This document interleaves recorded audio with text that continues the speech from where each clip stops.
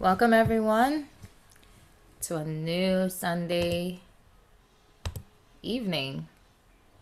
Um, as usual, I'm trying to go live on multiple platforms. Um, so we're welcoming everyone. Last week, I thought I was going live, and I wasn't going live on Facebook. So today, I want to make sure that that doesn't happen. Um, that's what happened when you're multitasking. But nevertheless, I'm grateful to have everyone here today on this new Sunday evening that God has granted us this beautiful day.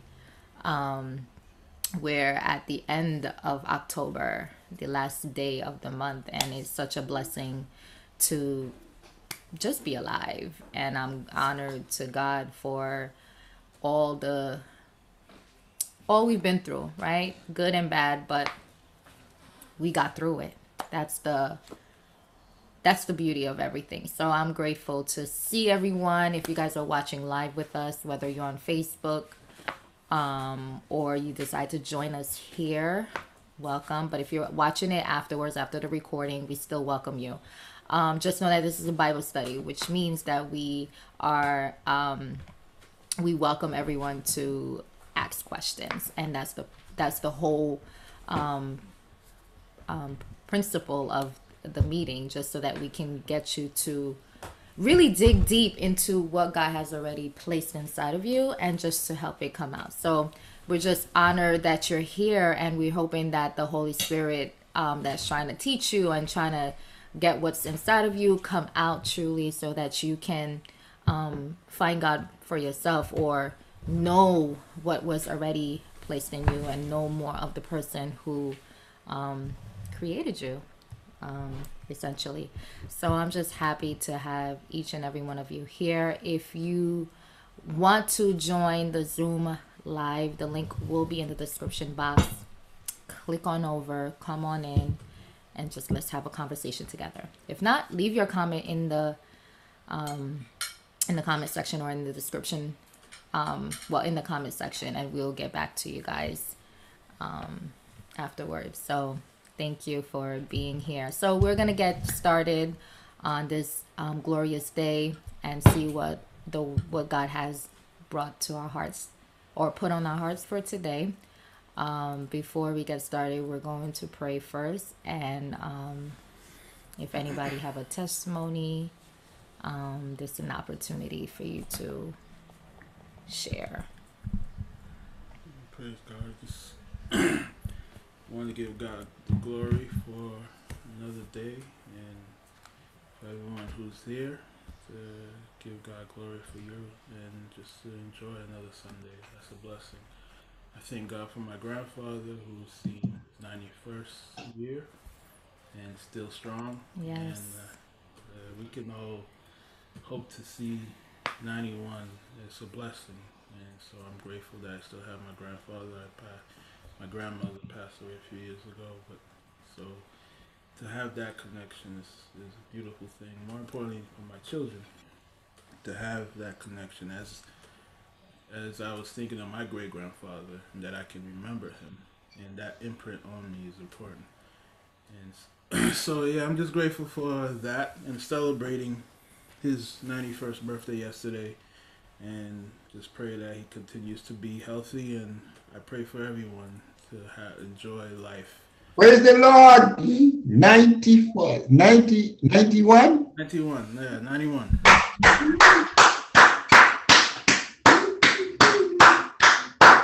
Well, with trial and pain, with a lot of pain and suffering, but 91, that's it. That's that's that's that great beautiful, yes.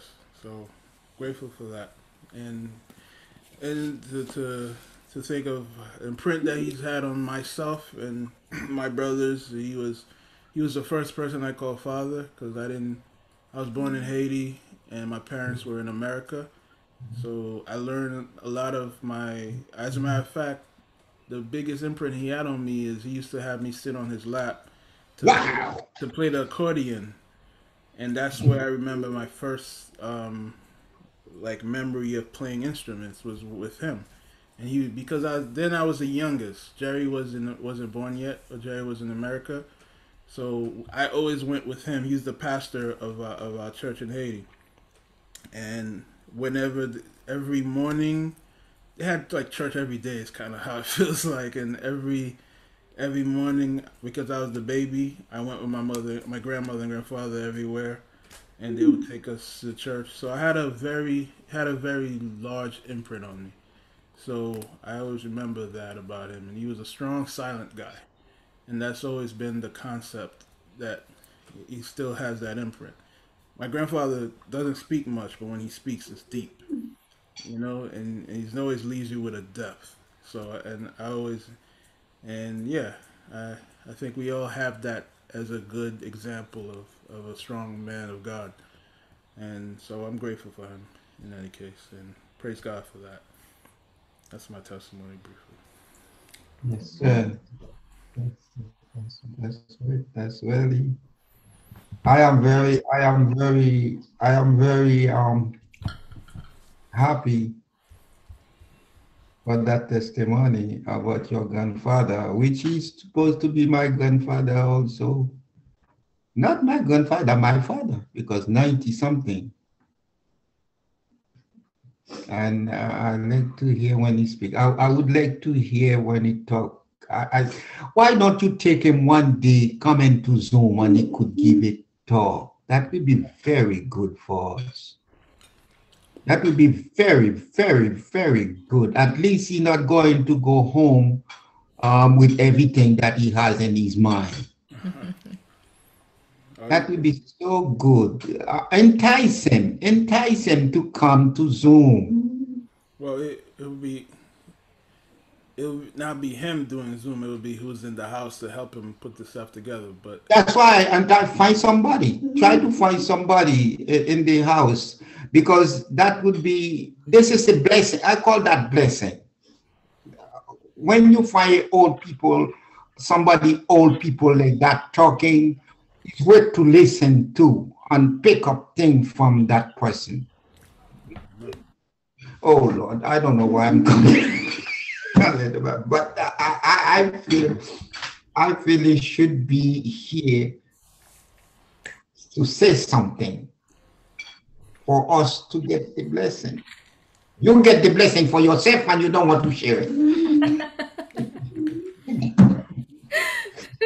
I, I always share it. There's always a piece of my grandfather in me when I speak.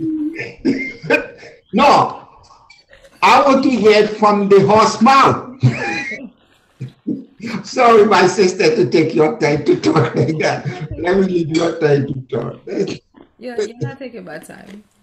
Yeah, that, that, this is beauty. This is 91 I'll see if. I can make it work, make it happen. Yeah, 91 years old. You wait to listen to the people like this. I like to hear it. Hmm. That's the beauty. Yeah.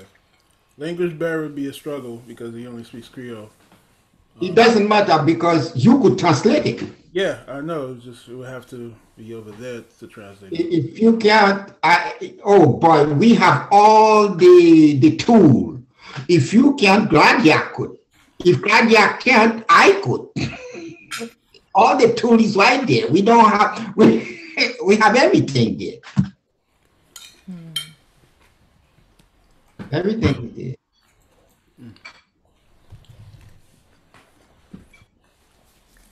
Don't mind me. I'm having a little dinner a little late. I so do I. Gladia, let go, go, go, get into the business. Yeah. So um, yeah, ninety one is really a fantastic age. I don't know if, if you had a testimony, Tina. We'll give you an opportunity to speak. If not, we'll just get in. Oh. Uh, no, ma'am. Only damn. um but uh yeah so um so we're just gonna pray and um start um, I'm going to pray.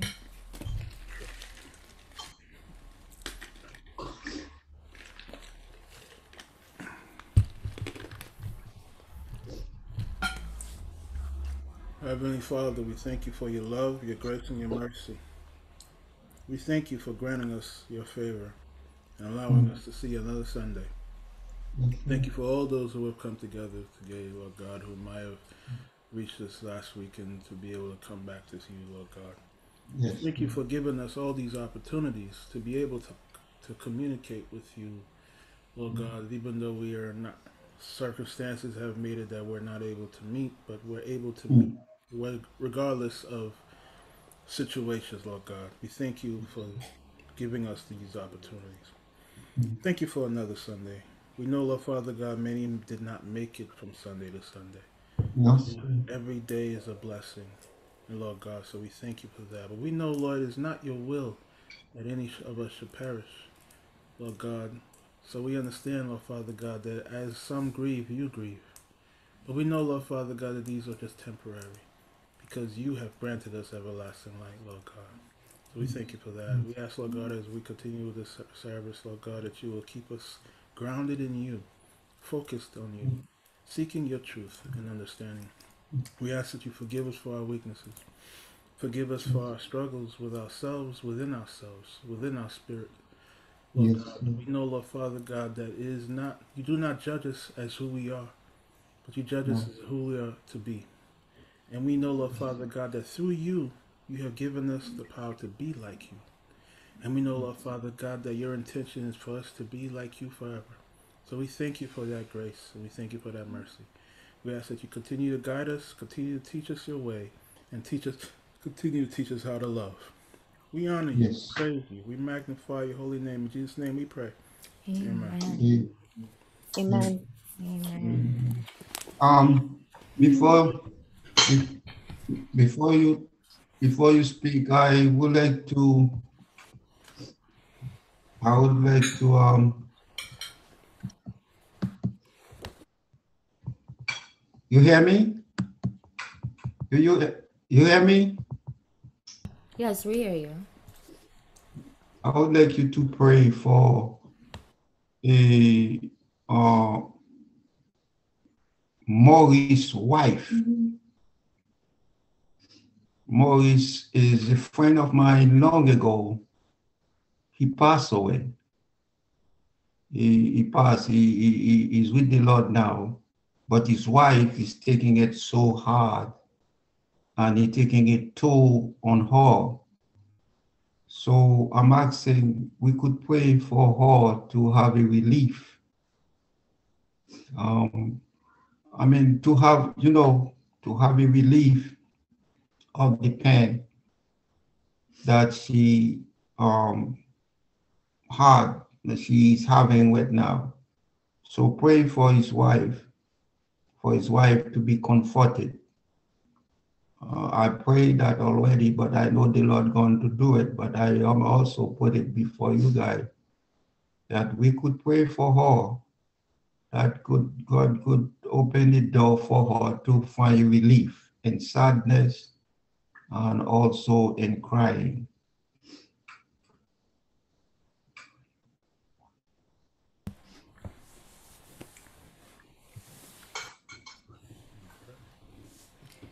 Yeah, um, let's just bow our heads.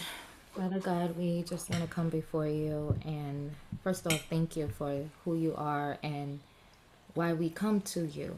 Because Hmm. in everything, for everything, with everything, by everything is through you. And we know mm-hmm. there's nothing that basically that you cannot do. And we come before you because you are the creator of all things. And mm-hmm. you're the one that can fix all situations. You understand the the makeup of everything lord father mm-hmm. god. And this is why we come before you right now in this moment to pray for pastor's um, good friend who has transitioned who's passed on and his spirit has left the body and now mm-hmm. we're dealing with the consequence or the results of it um, mm-hmm. with the people who are left behind, Lord God. And so we want to lift up his wife right now in your hands. For we know death is never an easy process to mm-hmm. accept, Lord God. And um, sometimes with lack of understanding, that can bring upon fear um, Yes. and can bring upon guilt and can bring upon Yes. many um, feelings that we just don't know how to Yes. um, comprehend or tolerate, Lord God. So, right now, wherever she is, we're calling onto your name to bring a spirit of peace and comfort that only you can provide, Lord Father God. Only you can make sense of of death, Lord Father God. Only you can make sense of transition. Only you can fill a hole Yes. that is too big to be filled by anything else, Lord. God. You're the ultimate comforter. You're the ultimate father. And she needs you more than ever. With this lack in her life, fill the void that is now in her life for her to see more of you um, and to be able to process as the days go on, Lord Father God.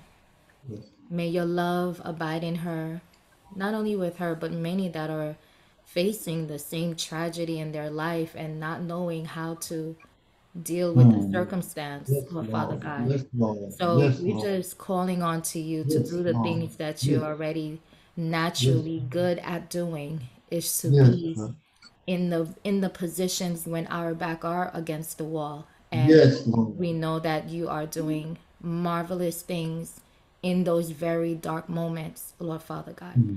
So thank you for what you're about to do, for what you're already doing.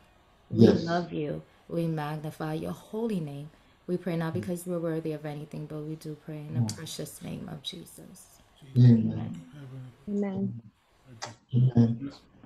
I just, in my heart, my spirit is asking that to add to ask, Lord God, that you comfort all those who grieve, Father. Yes. You remind us, Lord God, that the, the pain is real, and God knows Yes. that you understand that even though we can't see the longer mm. picture, so we mm. grieve because of what we cannot see. Yes, Know, Lord. Lord Father God, that these things happen again not to your will, but because of the way the world is. Yes. We ask, Lord God, that you will send her strength. That we know that the pain won't go away, Lord God, but she can lift up out of the pain, Lord Father God. Yes, Lord. The love will never go away, but that she is remembered, reminded, Lord God, that it's temporary. That Yes. she will, they will be together again. That Yes. all of us who suffer and all of us who have lost, Lord God, that Yes. we that we appreciate the love rather than saddened by the lost. Yes. That we hold on to the future, Lord God, knowing that temporarily is a loss, but the future Yes. is that we will all be together again. We thank you for that truth. That holds us up to understanding that no one has died, No. no one is gone. No. It's just temporary. Life hasn't begun yet, so life No. hasn't ended yet. Amen. Thank you for that. sir. Thank you for that understanding, Father God. We love you. We praise you. We honor you. We magnify your holy name. Amen. Amen. Amen.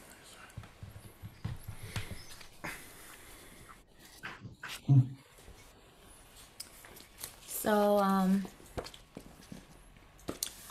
once again, this week I have been asked to bring the word today, and um,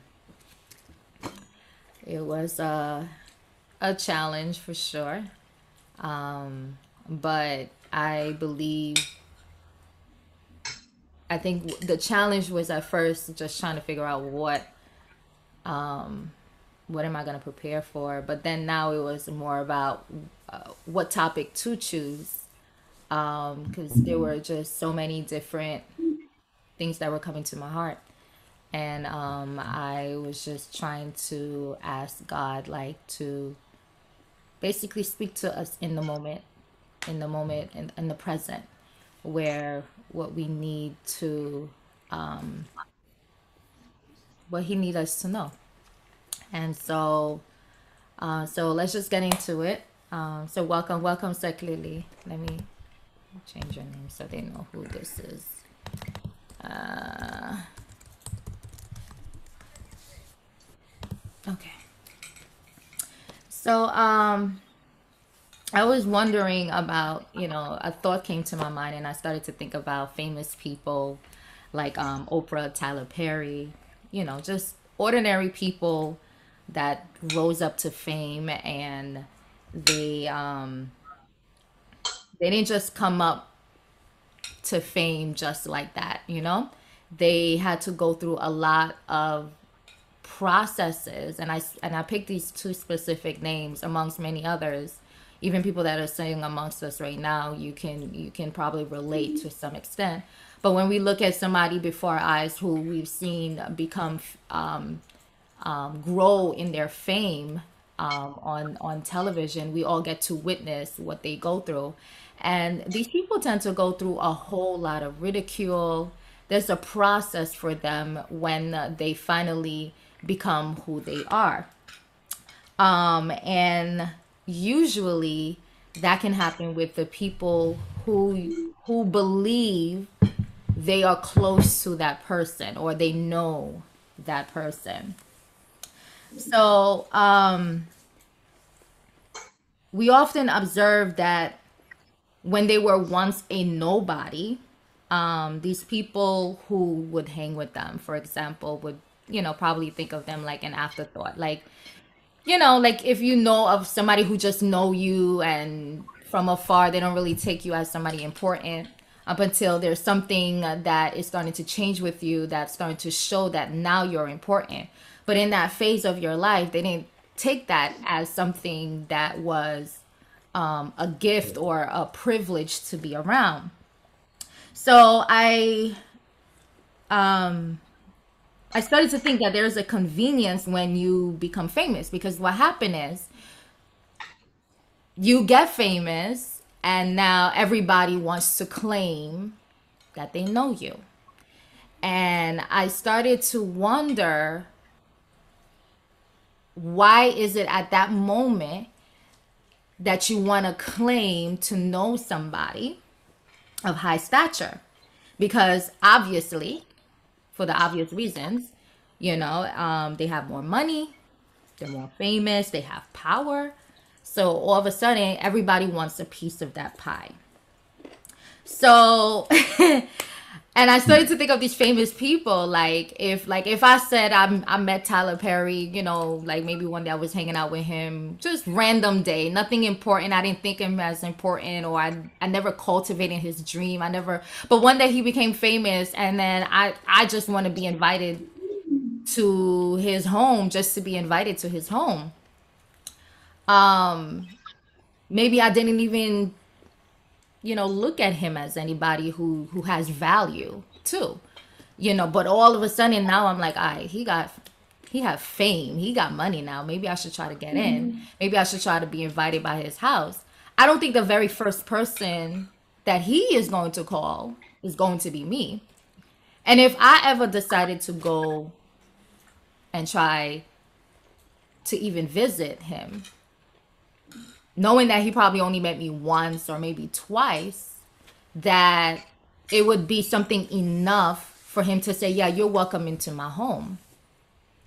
Or even Oprah or anybody who I feel like, you know, I'm not inviting just about anybody into my home. It has to be somebody like I feel like I know. And if I'm inviting you into my home, maybe it's just for a specific purpose. But if it's just for hanging out, I'm calling my best friend. I'm calling somebody that has just been in my corner for a very long time, who knows about me, who knows me, who knows me in my good times and my bad time. So if Tyler Perry were to ever see me at my door and he looked at me and I would to knock and be like, you know, can I come in? Can I come on over? He would like the first thing he's gonna say, I don't know you. I don't know you. So that left me to this scary question in my head when God says these words to you I never knew you. And I wonder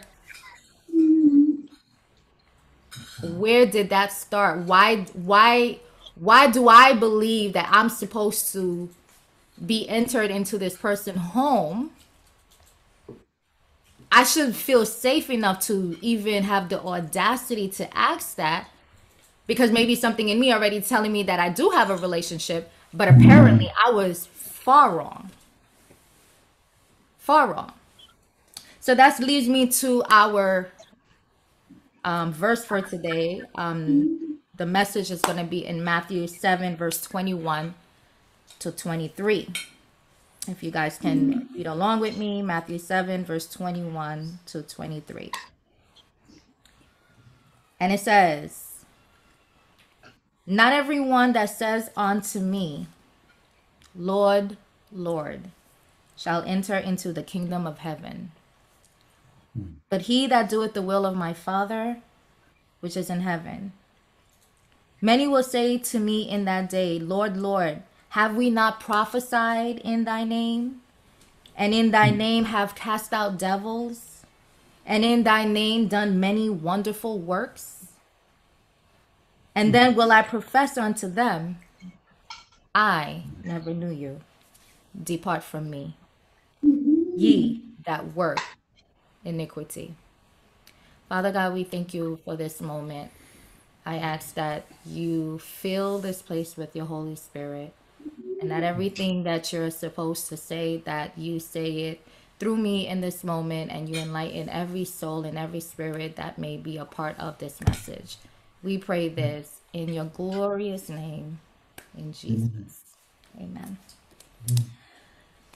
So, which brings me to the title of my message today I never knew you. My God.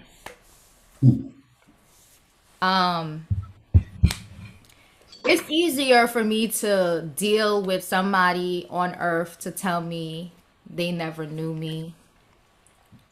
Um, because for me, um, even though it would hurt, and trust me, it hurts, um, to not be invited to something that you feel is the moment or the greatest experience or you felt like you once had access to this person and now they're very famous today and for you to feel like even though yeah he he I gave him a tissue or I I I was but I don't know you. And and somebody like my as a just a regular person me saying that I don't know somebody is basically implying like you know we don't have that intimate relationship for you to be in that in that moment with me. And these are very private places like your home uh, like this big moment even signing you a check sometimes just because not because it's an exchange for something else but because i just i just feel like you know giving you something because you're my friend or whatever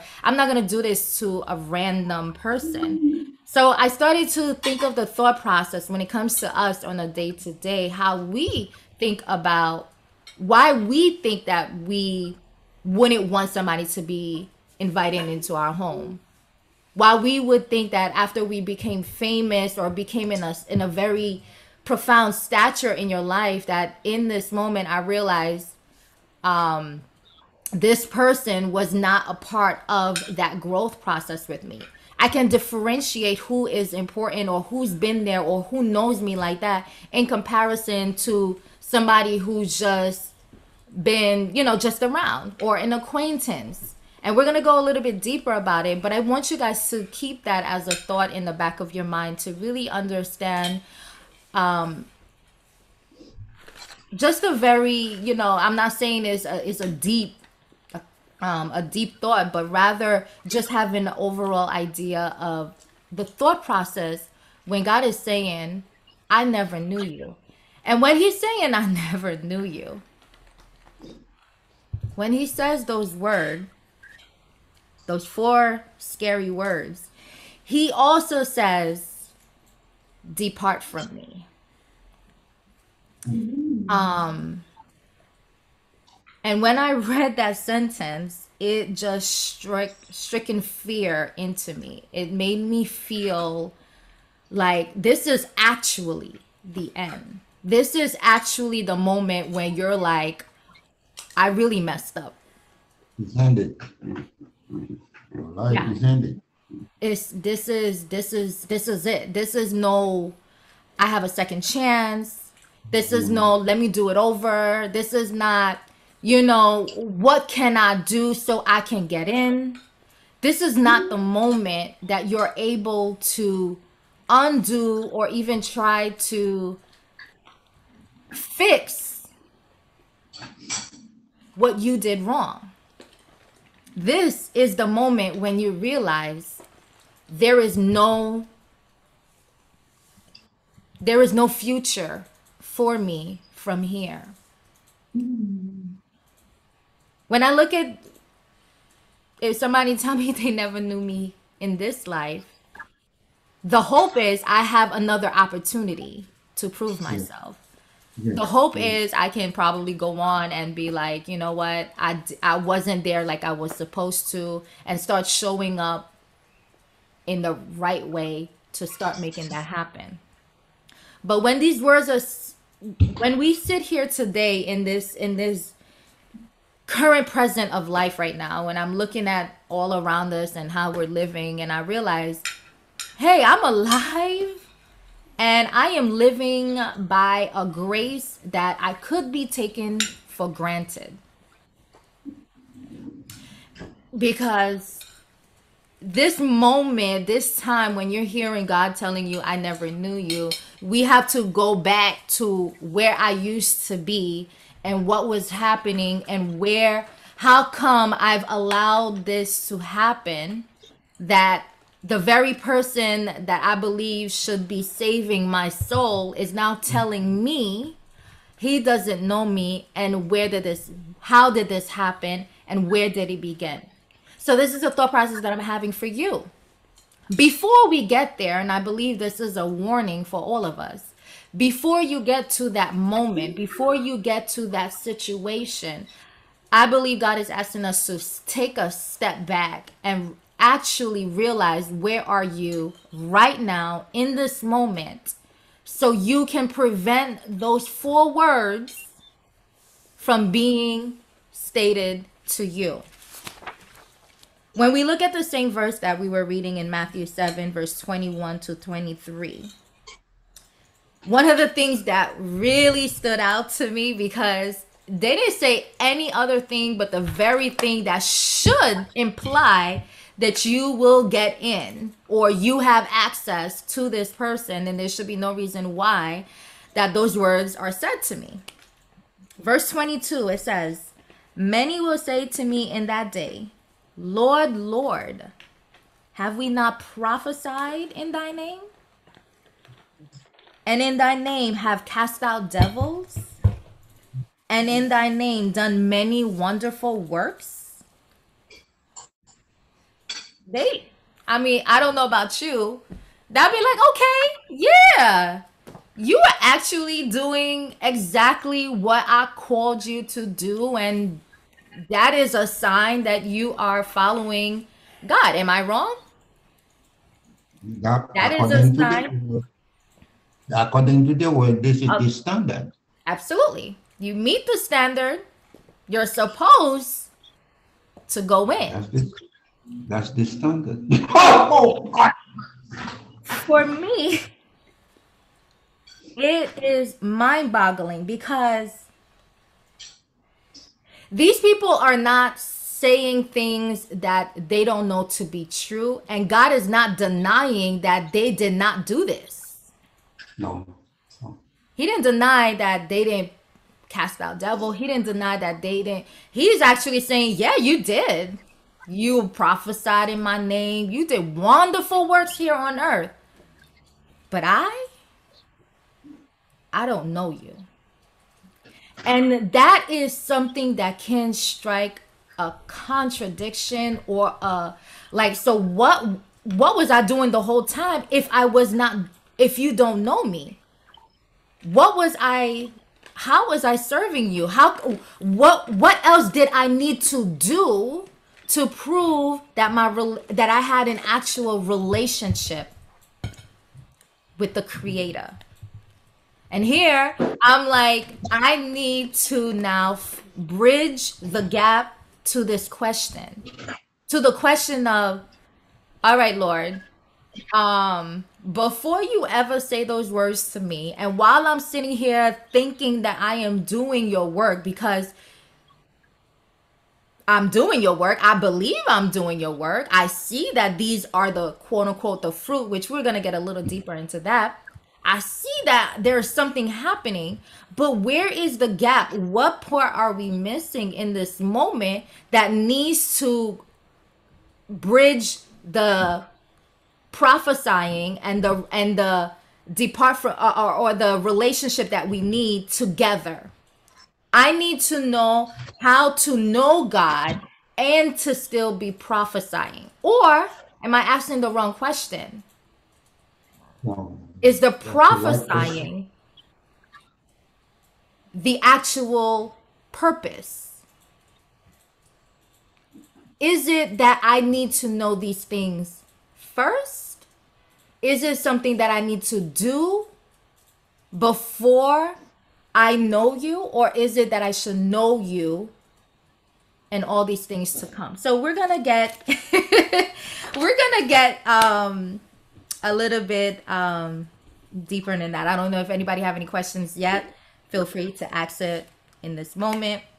But we're gonna we're gonna we're Well, gonna that, take a deep dive. the only thing, the only thing I could say, I would go back to the first answer you gave. When you come into, um, oh Lord, thank you, Jesus. When you come in, and it is a privilege to speak on behalf of the Lord. Anytime you get a chance, it's not a force, it's a privilege. Yes. it's Yes. a privilege. So go on, my sister, to that message. Go on. Amen. Um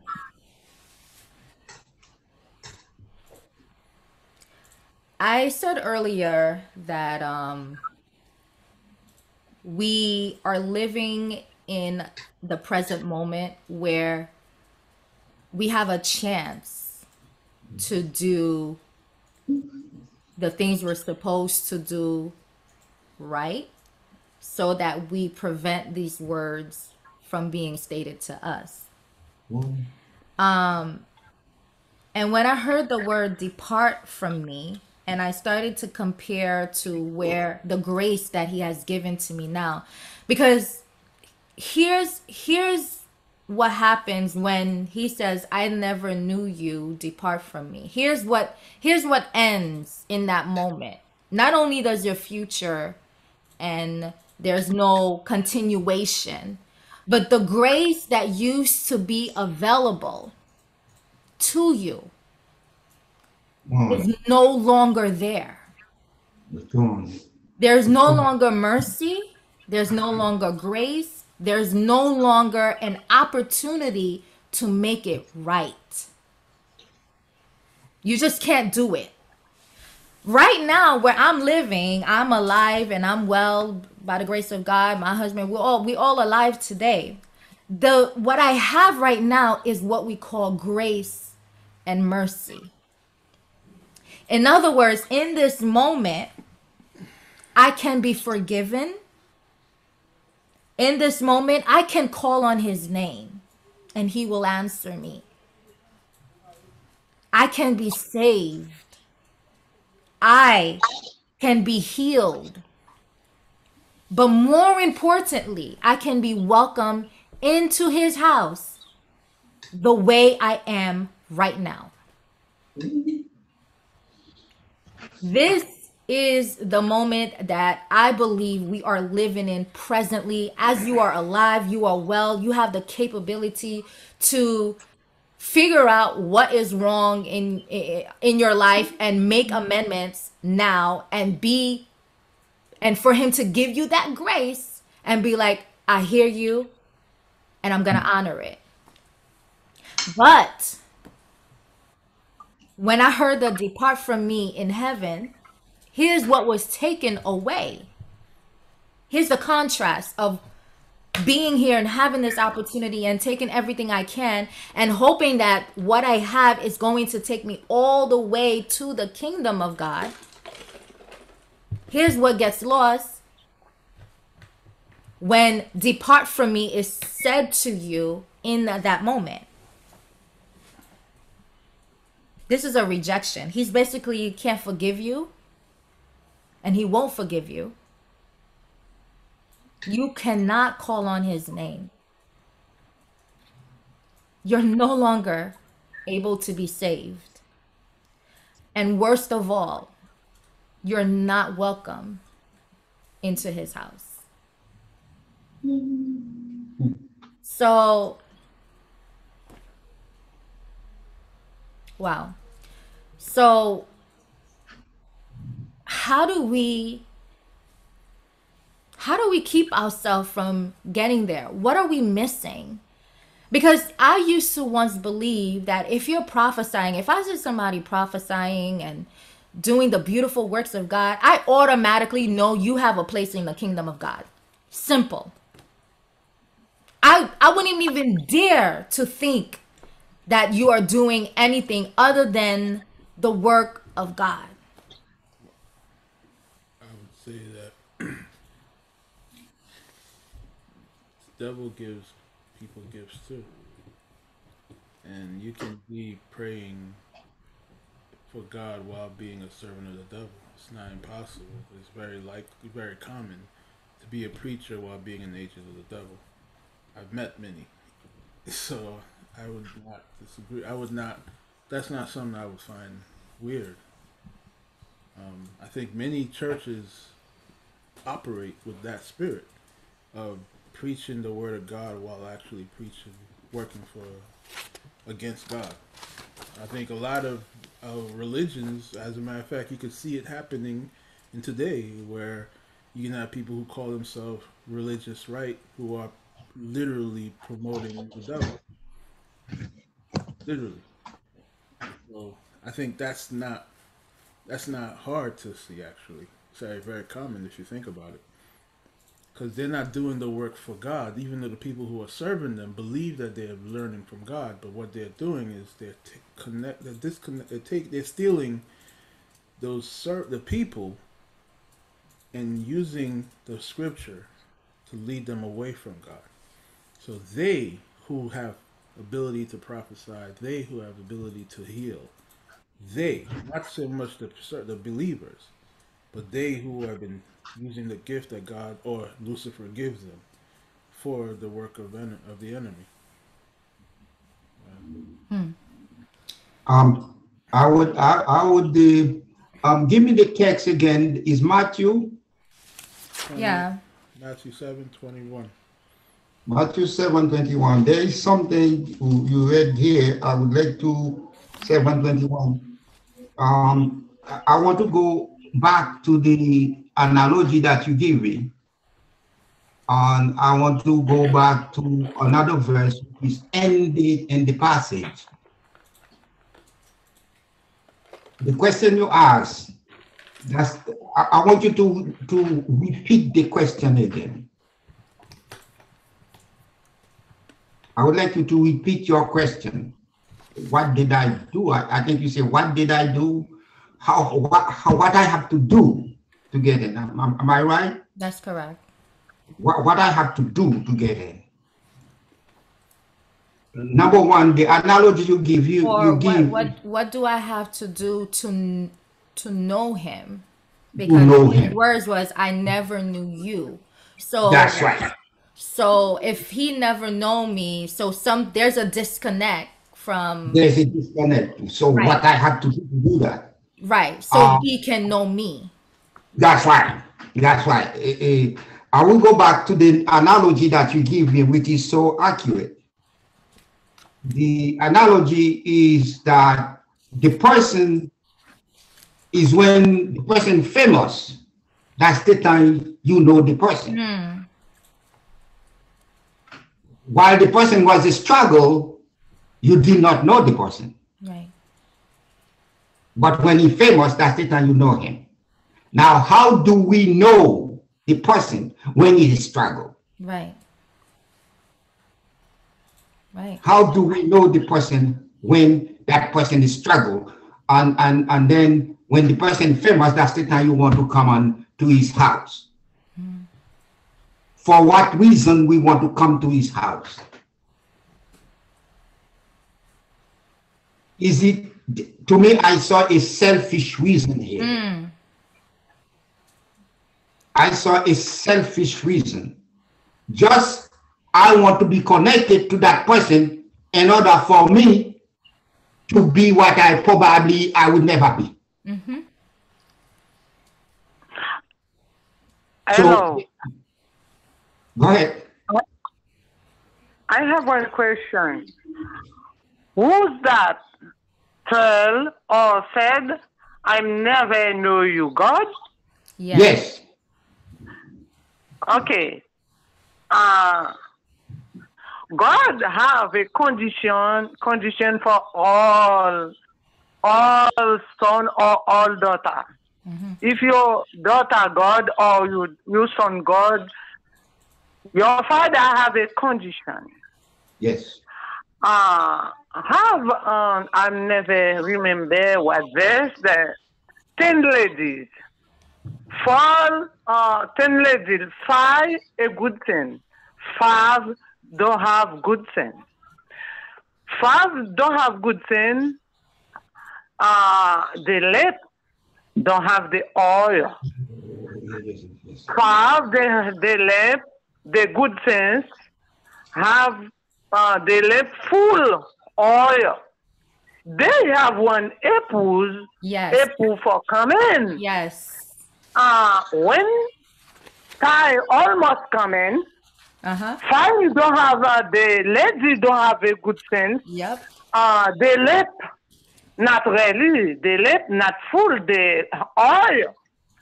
Uh, they not good sense coming to the door, knocking the door. Hello, my lip don't have uh, oil. Can you give me some? Mm-mm. They good send hand share there? No, I can't give you because the, the I have little. It's not enough I give you. You're supposed to go buy some. Yep. Why Lord they come in, go, they go to find to buy the oil. Les poor off. They knocking the door. The door closed. They cannot en- uh, enter inside the uh, house because it's late. They let Every son or every daughter, you supposed to uh, available for your father. Anytime father come in, you ready for that. Amen. Yes. But me, I understand some word my um, sister Gladia, good. Uh, uh, this story, this is very, very good story. Uh, this story uh, make every daughter or every son you supposed to uh, to available anytime your father come in, you go inside to do your father. Amen. Okay, Amen. I'm finished. I have a question. I have a question in that.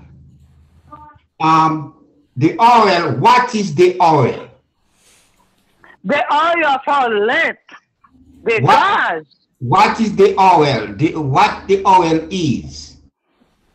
oil, The oil that is on the lamp. What it is? you love, you supply the, the oil. It's, one lamp don't have oil, it's not on. You're Yeah, supposed to have oil, the gas. Yes, I know, but what is the oil? Maybe Gladia could come up with this. What It's is uh, Holy Spirit.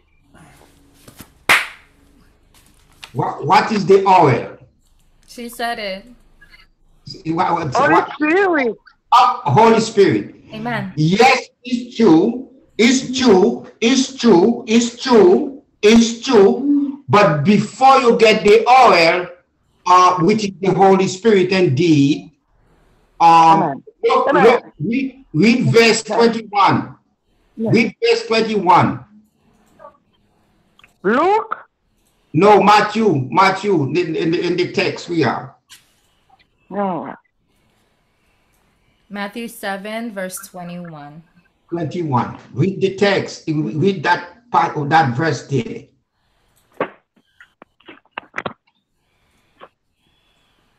And the question could be asked in that same verse, Matthew 7, verse 21. verse 21. 21.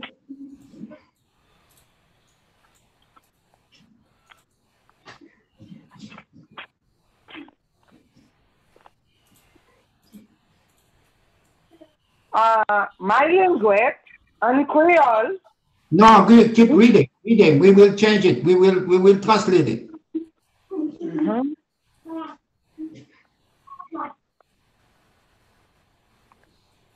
Matthew 7, 21. mhm. I see that. Maybe Gladia could come up with because Matthew 7 will give you another answer right there again. It says, Matthew 7, verse 21 says, Not everyone that says unto me, Lord, Lord, mm-hmm. shall enter mm-hmm. into the kingdom of heaven, but he that doeth the will of my Father which is in heaven. That's that, that, that that's the bulk of the matter right there. What is the will of the Father? So, you know, I think you said clearly first because you took the exact verse that I I took it out of my sermon um because it was going to make my sermon longer. But because you brought you brought it is because I know God is saying he wants us to talk about it. Um when I think about the the the the, the 10 people and then 5 of them had the oil and 5 of them didn't have it. It's a very Uh-huh. profound story because Yeah. it makes you understand Yes. it makes you understand where God wants you to be and how He wants you to prepare for this day when it comes. But, but Pastor, Mhm. but but Pastor asked a really deep question, and he said, "How do you do the will of the Father?" So, but here's I don't think we're asking the right question. Here's Go ahead. here's why we're not asking the right question because the will of the father is for you to prophesy is that not correct Mhm. Yes, no. Yes, no. i don't think it's excluded from his will No, it's not. That's why I, don't- say yes. so so so the question is not really doing the will because i they're very well doing the will of the That's right. That's right. That's right. That's right. That's So- question. My question was in with your. You said you should available. The, the, he tell you. He will tell you. He never know you because you not ready. I know, but he, he say he will never know you, but Mhm. he give us the answer in verse 21. Mhm. What Yes. you should do he to said get to the heaven. that's correct In what you should do for him to know you. right For him to know you, you have to do the will of the Father. But now the question remains now, what is the will of the Father? Then Gladia come up with prophesy, which is part of the will. But that's not the core. That's not the, the main core of the will. In other words, this is a shadow. Mm-hmm. That to, to do the prophecy is a shadow. To do the work is a shadow. But that's not what give you access to him. Correct. Correct.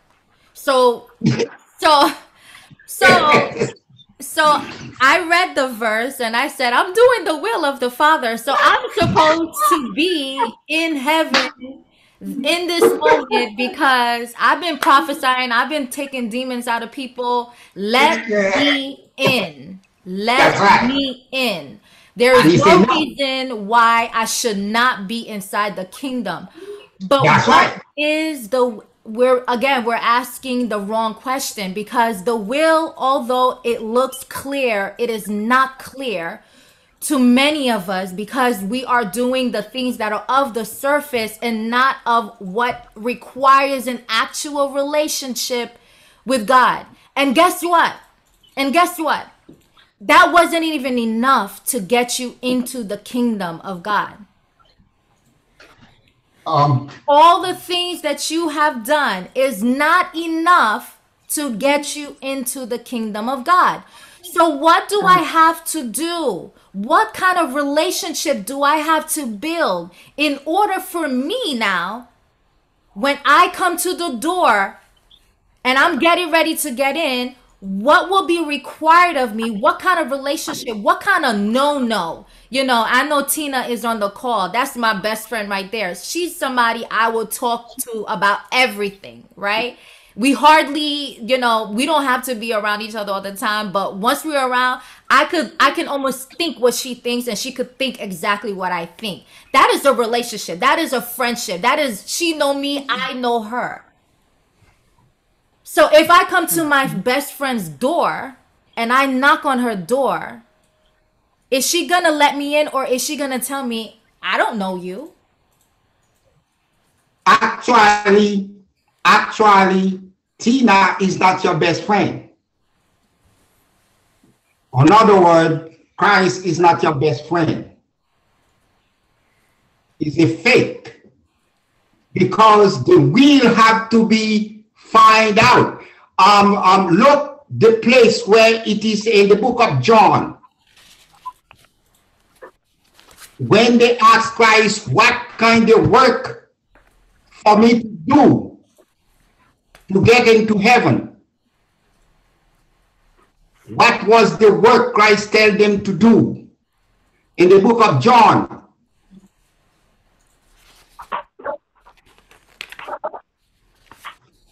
Do you remember you gotta do, Go ahead. do you remember the chapter? That's what I'm looking for. It's in the book of John. And the men who were asking what he needs to do, the rich guy, the rich man. Yeah, what? No, not that the rich man. The other, another. That's the Pharisees and all the people ask him what work to do. In the book of John, I'm looking for that verse because um, uh, prophesies um, also to cast out devil. This is work. This is this is part of the job. Okay. However, So you're basically what you're doing. You're jumping ahead of my sermon. Okay. So John, is, I already have the scripture. Is John seven, verse, verse one to thirty nine.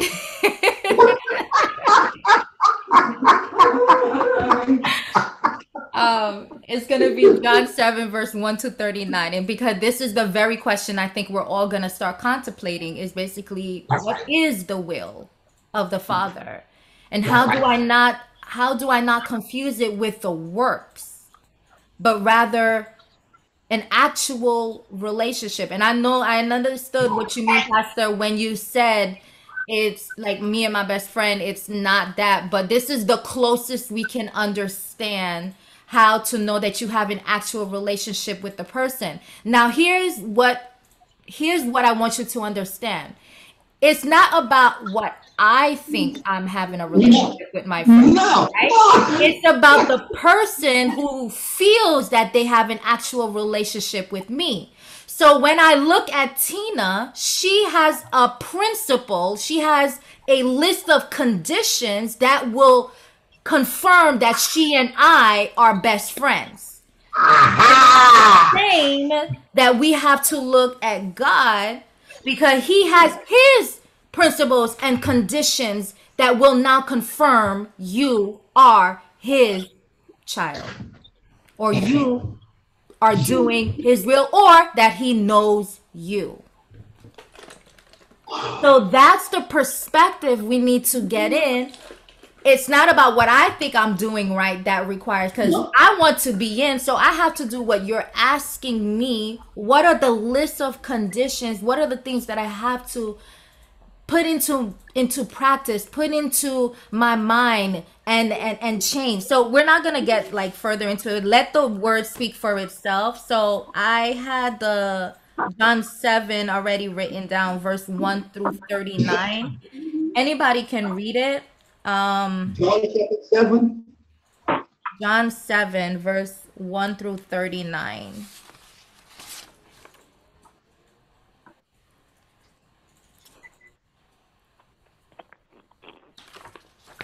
If anybody has it, they can read it. After this day, Jesus walked in Galilee, right? Yeah. Am I right? Yes. For he would not walk in Judea, because the Jew sought to kill him. Now the Jew feast of the tabernacle was at hand. Brethren therefore said unto him, Depart hence and go into Jude, to, to Judea, that the disciple also may see the work that thou doest. For there is no man that does anything in secret, and he himself seek to be known openly. If thou do these things, show thyself to the world. For neither did his brethren believe in him. Okay. Mark that verse. Hold, hold. Mark that verse. Yes, yes, yes. I, I want to read it. Pastor, hold on. Let me let me read it in the other translation because I like your translation, but I, I also want to read it again because Okay, that verse is very important. Um, after this, Jesus traveled around Galilee. He wanted to stay out of Judea, where the Jewish leaders were plotting his death. Oh, that's better. But soon it was time for the Jewish festival of shelters, and Jesus' brothers said to him, Leave here and go to Judea, where your followers can see your miracles. Mhm. You can't become famous if you hide like this. Mhm. If you can do such wonderful things, show Mhm. yourself to the world. For even his brothers didn't believe in him. Keep going. Keep reading. Verse 6 Jesus replied, Now is not the time for me to go, but you go anytime. The hmm. world can't hate you, but it mm-hmm. does hate me because mm-hmm. I accuse it of doing evil. Mm-hmm. You go on. I'm not going to this festival because my time has not yet come. After th- saying these things, Jesus remained in Galilee. But after his brothers left for the ves- for the festival, Jesus also went Jesus also went, though secretly, staying out of public view. The Jewish leaders tried to find him at the festival and kept asking if anyone had seen him. There was a lot of grumbling about him among the crowds. Some argued he's a good man, but others said mm-hmm. he's mm-hmm. nothing but a fraud who deceives the people. But no one had the courage to speak favorably about him in public, for they mm. were afraid of getting in trouble with the Jewish leaders. Then, midway through the festival, Jesus went up to the temple and began to teach. The people were surprised when they heard him. How does he know so much when he hasn't been trained? They asked. So Jesus told them, My message is not my own. It comes from God who sent me. Anyone who wants to do the will of God will know whether my teaching is from God or is merely my own. Mhm. Those who speak for themselves want glory only for themselves. Yeah. But a person who seeks to honor the one who sent him speaks truth, not lies. Not like Moses gave you the law, but none of you obeys it. In right. fact, you are trying to kill me. Hmm. The crowd replied, You're demon possessed. Who's trying to kill you? Jesus replied, I did one miracle on the Sabbath, and you were amazed. But you work on the Sabbath too, when you obey Moses' law of circumcision. Actually, this tradition of circumcision began with the patriarchs long before the law of Moses. For if the correct time for circumcising your son falls on the Sabbath, you go ahead and do it so as to not break the law of Moses. So why should you be angry with me for healing a man on the Sabbath? Look beneath the surface so you hmm. can judge correctly. Right. Some of the people who lived in Jerusalem started to ask each other, Isn't this man they are trying to kill? Isn't this the man they are trying to kill? But here he is speaking in public and they say nothing to him. Could our leaders possibly believe that he is the Messiah? But how could he be? For we know where this man comes from. When the Messiah comes, he will simply appear. No one will know where he comes from. While Jesus was teaching in the temple, he called out, Yes, you know me, and you know where I come from. But I'm not here on my own. The one who sent me is true, and you don't know him. But I know him because I come from him, and he sent me to you. Then the leaders tried to arrest him, but no one laid a hand on him because his time has not yet come. Many among the crowds at the temple believed in him. After all, they said, would you expect the Messiah to do more miraculous signs than this man has done? When the Pharisees heard that the crowds were whispering such things, they and the leading priests sent temple guards to arrest Jesus. But Jesus told them, I will be with you only a little longer. Then I will return to the one who sent me. you will search me. You will search for me, but not find me. And you not and you cannot go where I am going. The Jewish leaders were puzzled by this statement. Where is he planning to go? They asked. Is he thinking of leaving the country and going to the Jews in other lands?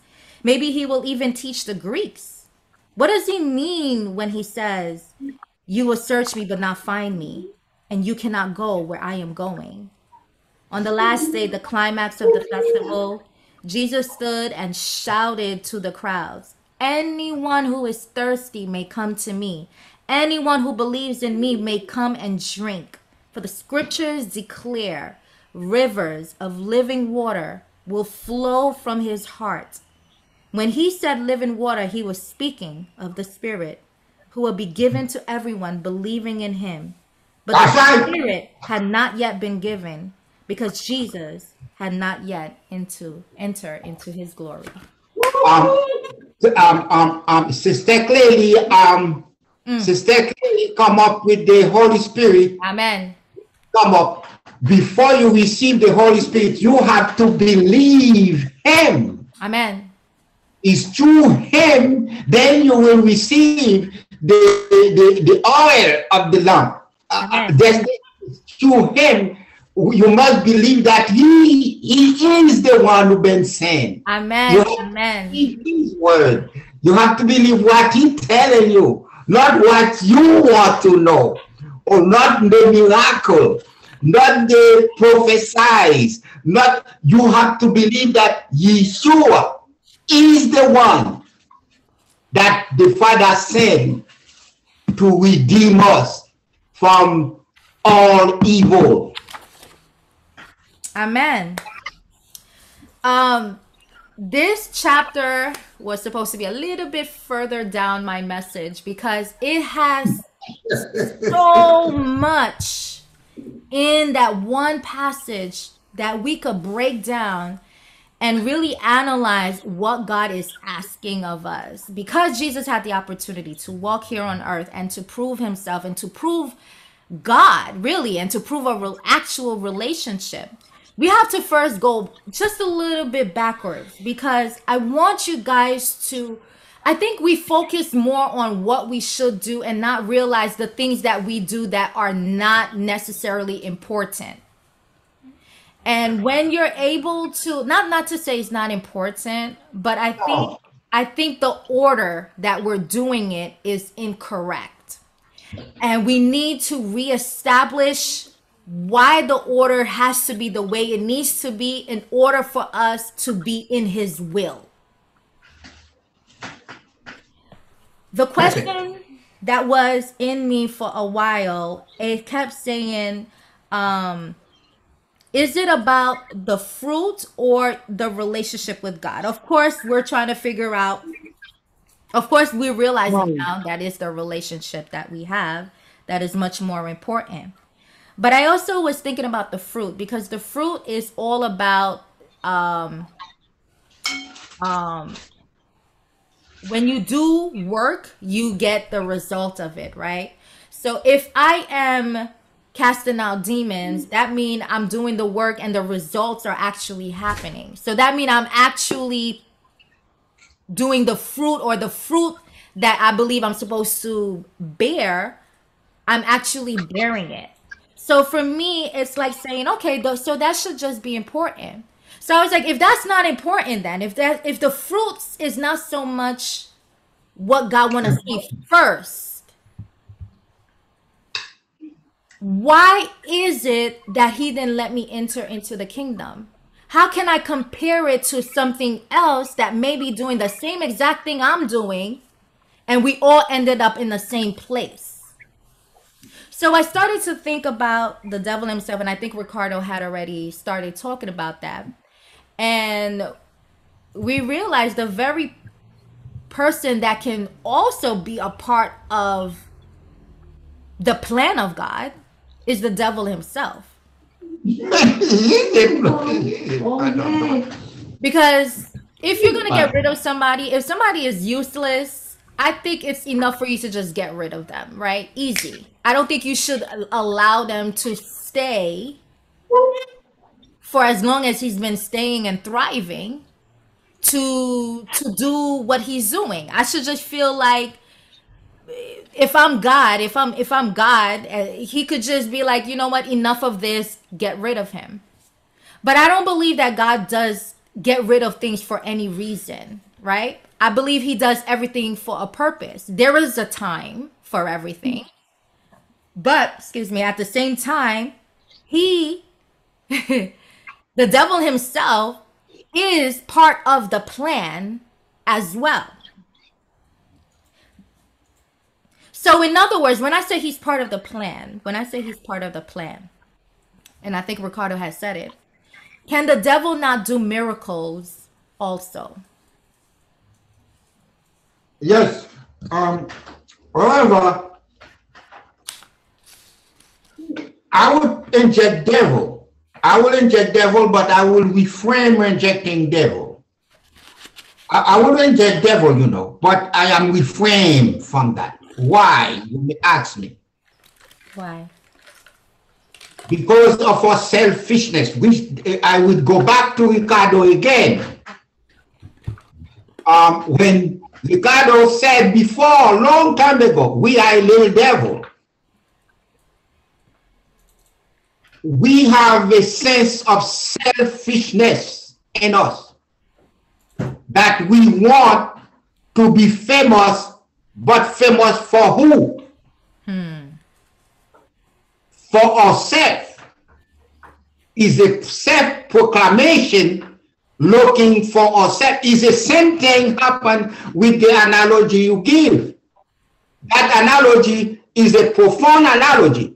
While the person was not famous, I have nothing to do with it. But now the person is famous because I want a piece of the pie. I want a piece of the pie. Not God want a piece of the pie. Right. Right. So because I want a piece of the pie, I inject myself, I push myself to the person. Amen. Amen. But the person know better than that. Right. He kick you out. Oh God, I bless. You said it right there, and I think it brought me to my next point. Deception. Deception. Deception. Deception. Deception. It's deception. That's it right there. Um we know that the the father of deception is the devil. Yes. Yes. But I want you guys to like stay with me because I want you to understand the word deception. Deception often is described, and I think I got the def- definition. It's the act of making someone believe something that is not true. It's not true. Uh, Act of deceiving, right? The act of deceiving someone, right? So the word deception almost make it look like you're doing it onto someone else. But I But- but I want you to focus on you deceiving yourself within yourself. You see, what you come up here, this is a, a open eyes. Right. This, is a disguise right now Right. who we really are. Right. Who we really are. Right. In other words, you let the cat out of the bag. Right. That's what happened right now. The cat out of the bag. Right. In other words, God now open us and make us see how deceptionist we are, how deceived we are, Amen. how evil we are. Amen. And that's why today, I'm sorry, my sister, you couldn't turn me on. That's why today we have a church pack of people because the pastor is famous and he's making a lot of money. Right. And not only that, he's telling the people things that the people want to know. Right. Things that will make people feel good. But not things that will make people go home and think exactly what is going on. We keep on preaching, preaching, preaching, but we keep on killing each other often, even at the church where we are. We become hypocrite to each other. If one brother says something that is not supposed to be said, I cut him off. There is no sense of forgiveness. There is no really sense of real intimacy of love. And this is what Christ is all about. Amen. Amen.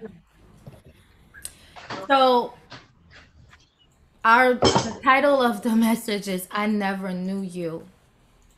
Never knew you. It stands to understand that in this moment of deception, when I'm telling you that instead of looking at somebody deceiving you, let's look at you deceiving yourself to think that you knew someone or you believe someone knew you in turn.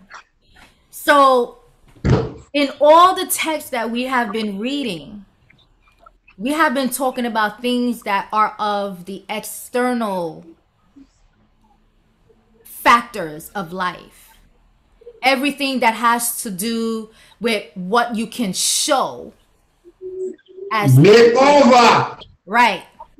Everything that is on Over. the surface, things that you could just be like, I did this, this, this, this, and that's enough for me to get in. And if you guys know who God is, He is more interested in what's inside than what He sees on the outside. These are two different areas in your life that needs to work together. Now, if I work externally, if I do work on the external, obviously I can't do the work. I'm not doing the work internal. Obviously, this is not enough to get in. I am so busy. Right, I am so busy doing the thing external. right, I am famous, you know. right. I am very famous. Go back to that passage again. Before you leave that, we're going to turn back to the passage about Christ when he was teaching his own brother. his very own brother tell him to go in public Yep. to show himself to the world Show himself. That Yep. he might be famous. Right. Right. That is, that is the word. That's But he didn't do that. that's it. He don't want to be seen. He don't want to be seen because he was not him. I, as I said, I am I am a male man. You understand? I am just a male man. I am nothing but a male man. The person who wrote the letter is that person you have to focus on, which is Christ. Yeshua said, He is just a male man. The Father will. That's what is important. Amen. And what is the Father will? That you believe, you know what Christ is saying is the truth. Amen. So we're gonna we're gonna try to speed up into this a little bit. So we talked about Don't speed it up. Don't speed it up. You have, you have a lot of good things there to come out. it's a lot. Use It's a all lot. the It's a lot. Um so I started to wonder um about the deceiving part because when we think about the devil, he's also the deceiver, but here I am standing like the devil himself, deceiving myself because because here I am doing the will of God, quote unquote. And I have the biggest deception in my life that is before everyone, before God Himself, where He tells me in these words again, I never knew you. And the the place that He will send me, along with the actual deceiver, the father of all deceiver, it says in Revelations 20, verse 10, it says, Then the devil who had deceived them was thrown into the fiery lake of burning sulfur, joining the beast and the false prophet. There they will be tormented day and night forever and ever. So here I am, who was quote unquote doing the will of God, and this is the place that I am about to go to. This is the place that I am ending in. This is the place that I thought I would not be in because I was doing the quote unquote the will of God. How many of us are sitting here doing the will of God that we thought was on the external, that we thought was just okay, maybe if I preach the word of God, or maybe if I go give this food, or maybe if I just prophesy, maybe if I just rebuke the devil, maybe if I do these things, that will prove to the people. Because first, who are you trying to prove it to? Because when we are talking about, because we're, we're, we're going to get into this, when we are talking about the external factors, there's first, you need people to confirm that you are doing the will of God first. Because you will continue in that act because you already have been ordained by the world that that must be the will of God. That must be somebody who's doing what God is calling them to do. And very well so, you are doing part of his will. But then you're missing a very important part to actually be ordained by by not the world, but by God himself. I think the visual, if you have to put it in a perspective, is not necessarily somebody who is lost in his vision of God, somebody who is using the idealism of being a servant of God for their own self. And that part is what is, is um, that is significant. Uh, significant. That is the perfect example of a agent of Lucifer. We're talking about the word is narcissism.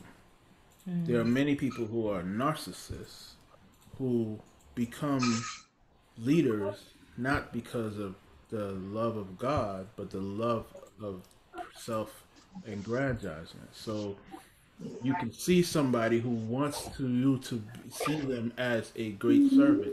You can see somebody who helps the poor because they want to be seen as helping the poor. They may be doing good works, but it's not because they care about the people. They care about being noticed for doing good work. So the the love or the respect that they get is what they're looking for, not for the glory of God. I think that's the word right there. The missing part mm-hmm. is: Are you doing it for the glory of God? Are you doing it for love? Or are you doing it for self-aggrandizement? There are many philanthropical people who do it philanthropy because they're famous for it. You know what I mean? Because they're they're respected for it. But even if they think they're doing a good thing, that's why Christ says, anyone who wants to give charity, give it in secret. Right. Because if you truly you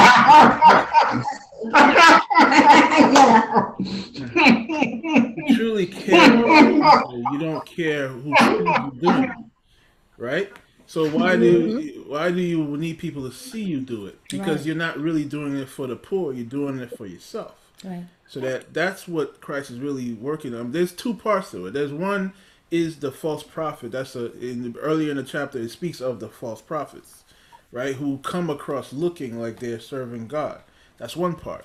But the other part is in your spirit that you may be well do you may be in the same sense well good example is Judas was a disciple, right? He was one of Christ's disciples who has who's probably been given the gifts as well, right? But his heart is not in the thought of doing for God. His heart is in himself. His heart has nothing to do with God serving God. Even though he is a servant of God, his heart is on self. He has a revenge in his heart. He has a hatred for the for the Pharisees. He has a hatred for the Romans. And so that's very common. So when they say I I know when Christ says I know not of you or I know you not. He's and he says and remember I'm a good example again is Judas where he says even amongst us is the devil. And none of the disciples knew what he was talking about. Christ already knew who the devil was. He was saying he already knew that amongst us one of you is the devil. One of you will betray me. You know what I mean? It's that concept of understanding that God knows who you are, even though if you don't know who you are. Judas didn't know who he was. I, I appreciate when you say that the deception of yourself. Judas deceived himself. God does not get deceived by you. You may think you're serving God, even though you're, you're serving yourself. And when the time comes you left this world in your deception, you will be proven of your deception, unfortunately. So the the what Christ is is is, is um, teaching us is to be aware of the ability to think you're serving God just by doing things, and think that's enough and that's all it takes.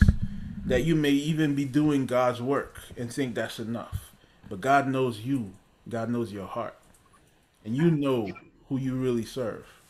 Even if you don't serve Lucifer, you're serving Lucifer by serving yourself. That um, um, remember, even though it has been said that man will stick to himself in doing things that is wrong because from the beginning they have been doing that. Anyway, we understand that when Yeshua came 2,000 years ago and more, we are preaching God's word, Jesus Christ saved. And that kind of teaching is not only belong to the people that is low class, so-called, but to the people that are in the high places. Now I am talking about the people that have a PhD, the people that have a MD, the people that are senators, that are president.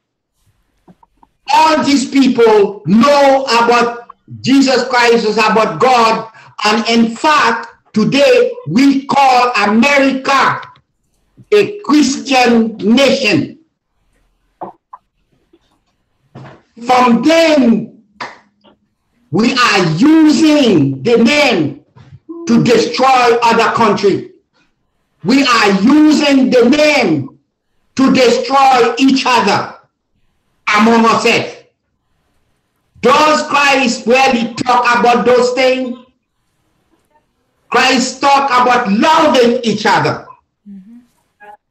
caring for each other, concern about each other, and not only for my country to be excelled, but our country to be excelled. In other words, Christ is taking that the whole world become one. The whole world, whether you speak English, whether you speak Creole, whether you speak is- Spanish, whether you speak Portuguese, whether you speak French, whether you speak uh, Japanese, whether you speak Chinese, whether you speak whatever the dialect you preach or you teach, Christ wants us to be one. Is that happen today? In fact, today we find ourselves in a dismay. Why? Because we are preaching selfishness. What I am, what I could become. Just like the just like the the, the, the, the analogy my sister gave before. When I, I am famous, now you want a piece of the pie. But you are the soul of the world. You are the soul of the world. If you come with Christ from the, this is what happened to Constantine. Constantine did the same thing with Roman Empire. When Constantine is going out, out of the power of military power, when Rome is about to go, down, sorry to go there, going down, down the pit, Constantine take Christianity and make it become empire. Right now, we say Rome is the only road to Vatican. Vatican, which is right there, the Pope, who's supposed to be an example to bring the world together, both spiritually and materially, to bring the world in one piece, that all the world may live in unity and love to each other. In fact, Rome is not doing that. The Pope is not doing that. We're giving food to people. We bring, we, we make a miracle to people. We do that. Just as my sister already said. We heal the sick. Yes, we do that.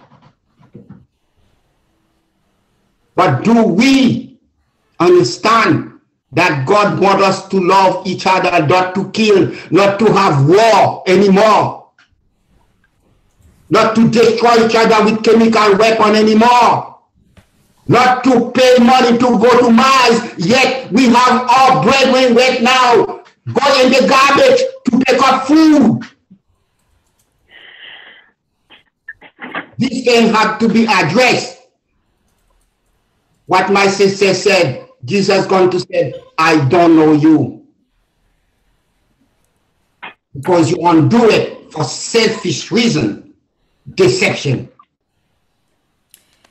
In other words, exactly what you say. It's better that you don't do it than to do it.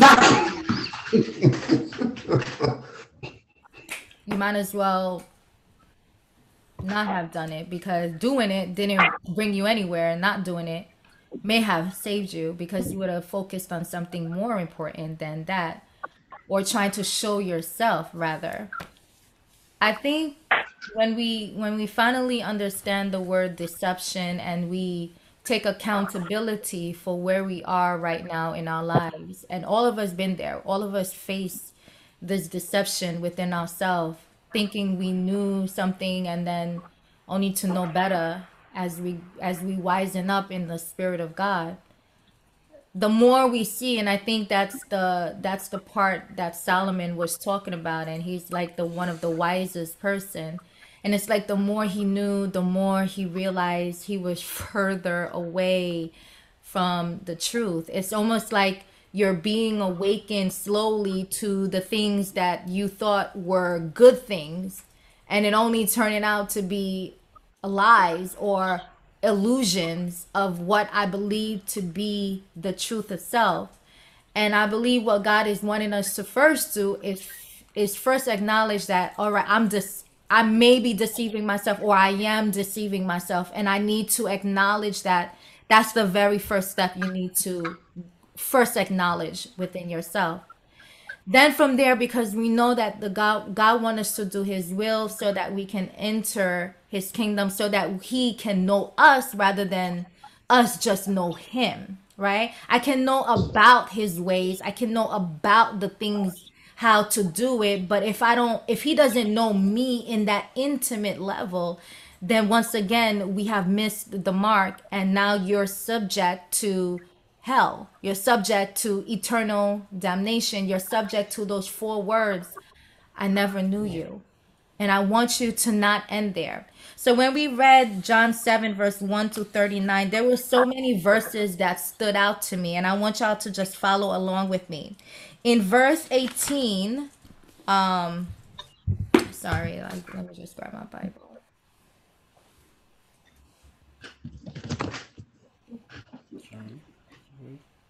Uh, John 7 verse 1 to 39 but we're gonna be we're gonna be on verse 18 hmm? John 7 verse 18 Go ahead. Whoever speaks on their own. Can you read the NLT version? Go ahead. Um, okay. Whoever speaks on their own the so to gain personal glory. But he who speaks the glory of the of the one who sent him is a That's man right. of truth. There is nothing right. false about him. Okay. That's right. That's. Those who speak for themselves want mm-hmm. glory only for themselves. But a person who seeks to honor the one who sent him speaks truth and not lies in verse 18 it already shows you exactly what we've been reinforcing over and over again. Doing something for your glory. Doing something deceptively like ricardo was saying if you're giving to the poor you know why does everybody have to see when god wants you to give in secret right? So these are things that start to help you acknowledge that, okay, this is not anybody speaking here, by the way. I want you to understand this is Christ word from his own mouth, from the source, from the source of what you need to know in order to start being in the will of God. So that means he is putting out that there are many people out here that are actually speaking for themselves for their own glory. So you need to start acknowledging where am I in that part of life where am i seeking my own glory rather than the glory of god? So you step back from there. In verse 22 sister sister sister clearly keep keep the phone. Don't touch the phone. Okay Pastor. don't touch the phone. Okay i muted her. Okay. No but don't mute her. Don't she she covered the the screen yeah, she can unmute. Uh, so clearly, lovely. When you want to talk, just unmute yourself, okay? Because she knows how to do it. Yeah, but the whole yeah. picture come up cover the cover right. the screen and because even if she's not touching the phone, any little noise is gonna bring it back to her screen because it, it changes oh, okay. based on who's talking or movement. Okay. Right. Okay. So if I mute her, then it'll it'll stop that for until she unmutes herself to speak. So um in verse 22 so right now we're focusing on the will of God. So I told you this chapter, John 7, verse 1 to 39, has a lot of goodies in there to start getting us to pull ourselves out from the place that been deceived. So we're no longer deceived. Okay. So that's where we're heading. So we read um verse 18 and now verse 22 it says, But you work on the Sabbath too when you obey Moses' law of circumcision, actually, this tradition of circumcision began with the patriarchs long before the law of Moses. So when, I read that verse, um, it's like saying like you're following the work of God, but just to follow the law, seeking glory for yourself, right? So it's like it's like them doing they're in the Sabbath, they're doing what they believe is the right things for the Sabbath, but when God Himself, Christ, was doing the very things of God on the Sabbath, they called him the devil. The devil. They called him the devil. So again, this is them seeking from themselves, or even looking at Moses as the God, really, and not really the God who is before them. So he's trying to paint a picture like, look, you do this on the Sabbath, you don't find a problem with it, which is really not a problem. But why are you seeing this as an issue? That's an issue. This is not an issue. This is the work of God. And it's the same thing we're doing. Correct. so where are you? What? Go ahead. What you're doing is just what I'm doing. The same thing, no different. Exactly. And that's what he said in verse 24. Look beneath the surface so you can judge correctly. That's right. What do you mean? What do you mean when you're doing what you think is do, you're doing right? Is it for the right purpose? Is it for the right reason? If is it for the right intention? You're not Self-interest. Se- Self-interest. right. Self-interest. That's all. Selfishness. Self-interest. Then in verse 28, we're going to go a little further down. He said, While Jesus was teaching in the temple, he called out, Yes, you know me, and you know where I come from. That's And I like that verse because it's almost like him saying, it's almost like Oprah saying, Yeah, I know you know me because I'm famous. You know my name. You've heard where I come from. Yeah, but it, that even more more striking than that. Right. Go ahead. That is more striking because when Christ said, "You know me," Christ referred all the way back to the Old Testament, where prophecies has been published of His coming and how He's coming. In fact, when Herod heard about the Christ born, he called the elders to find out where that Messiah going to come. And they told him, according to the written in the old time, how the Messiah going to come and where he going to come. So when Christ said that, he referred back all the way to the Old Testament, all the way back how they describe him coming, how he go. In fact, in the book of Daniel, he always he, he also proclaimed that they're going to kill him before time.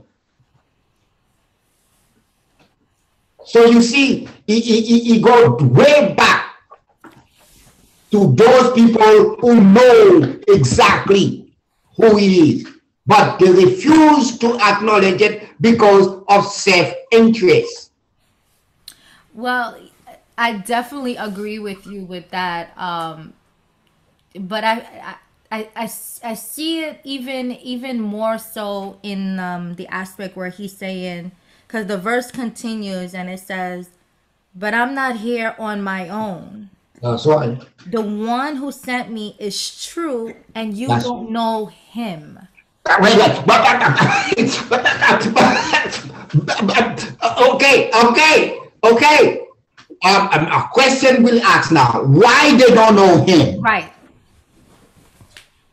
Because they've been blind with self-interest.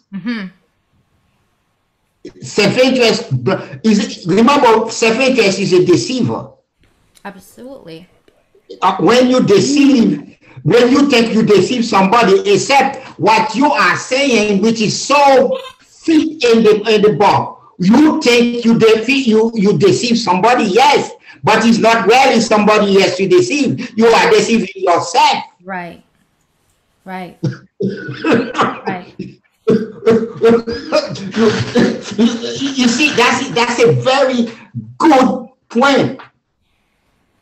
You think you are deceiving somebody to get your way. Right. Unfortunately, is yourself you're deceiving. You're deceiving yourself. Um that that part right there when he said, "You know me, but in the one you that sent me, you don't know him." That's that's a this is a very big contradiction because I want you guys to go back to when they prophesied about Christ.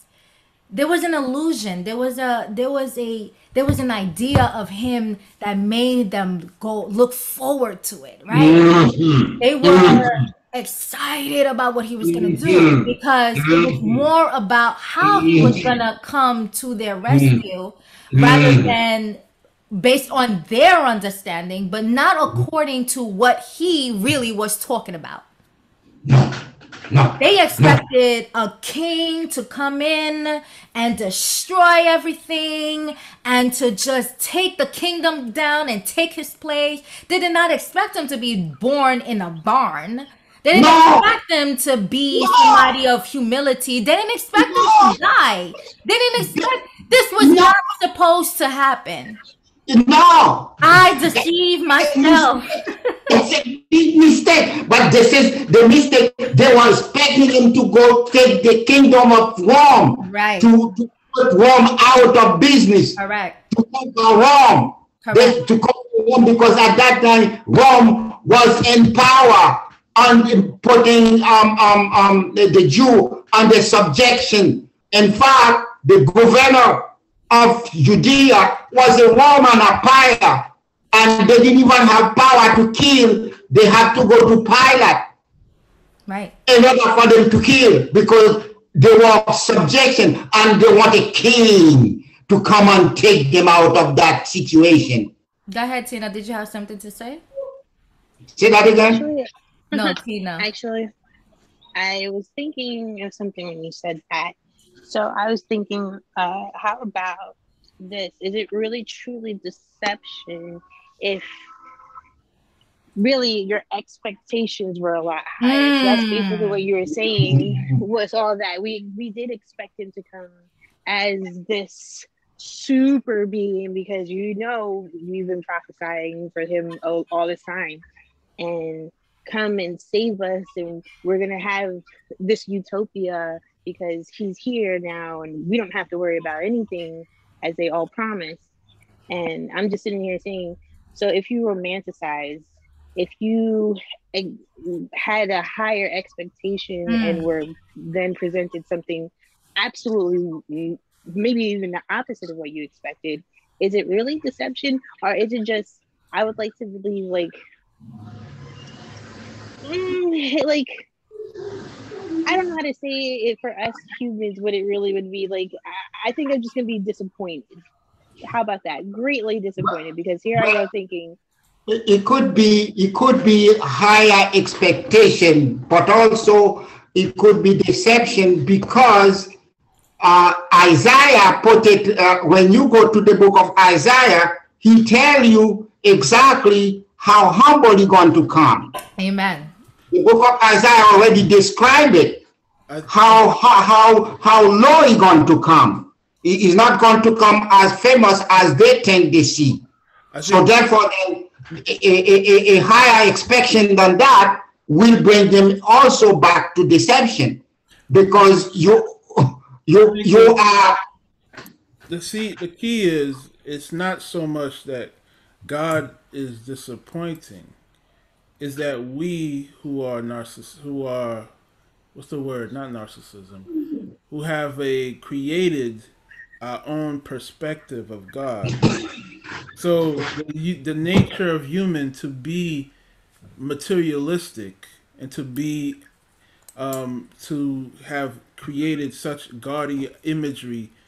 So we've we we we value things that God does fabricating it. Right. So we created what we consider to be as I had this conversation with my kids about what we the whole point of gold and diamonds, which is just rocks.